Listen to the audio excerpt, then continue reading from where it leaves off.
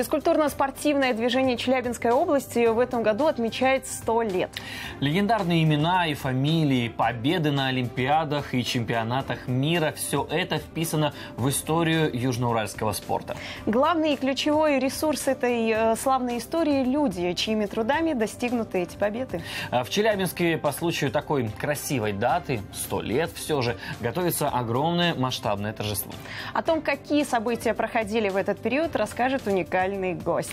А Сегодня мы познакомим вас с человеком, который 15 лет играл в Народном театре при металлургическом заводе, около 50 лет преподавал э, физическое воспитание в Челябинском юридическом техникуме. Итак, у нас в студии гость Анатолий Рублев, судья международной категории, судья всесоюзной категории по легкой атлетике и олимпийский арбитр.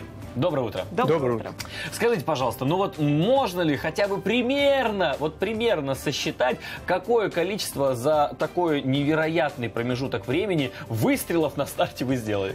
Ой, если бы это было сказано заранее, я бы примерно где-то подсчитал, да. Это настолько трудно э, подсчитать столько выстрелов, потому что э, если начинать с э, городских соревнований и включая международные, которые у нас проходили, а я их обслуживал все, поэтому очень сложно. Но это, наверное, где-нибудь за 50 тысяч. Ого. Отлично. Да. Анатолий Дмитриевич, скажите, а в чем вообще особенность э, вот этой работы? Какой он идеальный судья-стартер?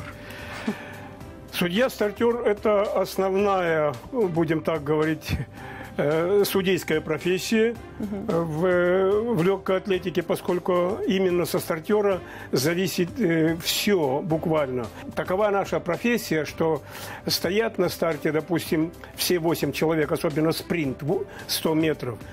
Э, Стартер должен обязательно чувствовать каждого. По поводу крупных э, мероприятий, да? да, вы же арбитр Олимпийских игр, которые проходили в Москве, вот, например, в 80-м году. Да. А, какой-нибудь э, интересный, запоминающийся момент того времени? Ну, такой случай, например, на Олимпиаде 80 мы, был у меня, когда Пьетро Минеа, к сожалению, его буквально вот три года назад он тоже ушел из жизни, это итальянский спринтер, который на 100 метров показал э, э, лучший олимпийский рекорд, установил и лучший результат сезона в мире. Вот. И вот он мне, значит, не знаю, почему именно мне подарил э, итальянский значок.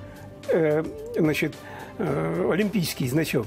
Но меня заметили, вот кто-то, значит, и в конце дня ко мне подходит, значит, э, один из представителей Международного комитета и спрашивает на ломаном русском языке с акцентом. Э, «Т- Товарищ судья Люплев, что вам подарил этот э, Петро Минеа? Ну, я, конечно же, испугался. Я говорю, ну, значок, зачем взяли? Я не знаю, что ответить. А потом мне говорят, представляете, когда собрались, представляете, вот при даре этого значка, вы же знаете, что эм, э, Соединенные Штаты бойкотировали Олимпиаду 80. И на завтра самая крупная газета «Нью-Йорк Таймс» э, опубликует э, значит, этот снимок. А это явно может быть заснято. А может и нет, но кто его знает? И вместо значка крупная пачка денег, долларов. И внизу будет сказано, что вот как покупают э, иностранные судьи, э, то есть иностранные спортсмены советских Да. судей. Вот у нас есть прекрасный легкоатлетический стадион, э, где проходят состязания российского ранга. Вот скажите, помогает ли это взрастить новых спортивных звезд? И как? Безусловно.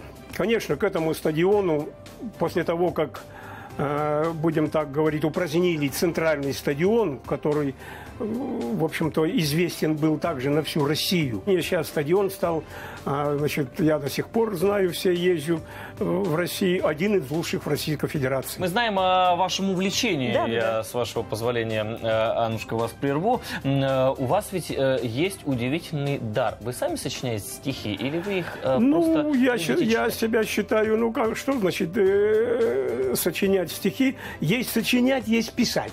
Так. Это разные вещи. Так, так, так. Вот. Э, У меня была программа такая встреча с интересными людьми. У меня не только э, чемпионы все Олимпийских игр, которые у нас есть, призеры, э, заслуженные мастера, вплоть до э, Анатолий Дмитриевич, это как у нас сейчас, разговоры с интересными людьми. Мы сейчас хотим вас попросить, чтобы вы вот в этот знаковый все-таки момент, 100 лет спорту э, Челябинской области, прочли строки, Не каждый может бить рекорды. В нас сложный и коварный век. Но просто заниматься спортом способен каждый человек. Пусть не спортом, физкультурой, туризмом, лыжами, ходьбой, чтобы накачать мускулатуру, чтобы быть всегда самим собой. Спасибо, вам Спасибо вам огромное. огромное за ранний визит и за это замечательное бодрое утро. Напомним, у нас сегодня в студии был Анатолий Рублев, судья международной категории, судья всесоюзной категории по легкой атлетике, а также олимпийский арбитр. Ну а что может заставить человека бегать? Ну, если это не профессия, начнем с этого. Но, наверное, должна мотивировать какая-то звезда. Ну вот тут, тут вопрос, какая звезда и кого может замотивировать? Здесь с этим вопросом мы вышли на улицы города. Да.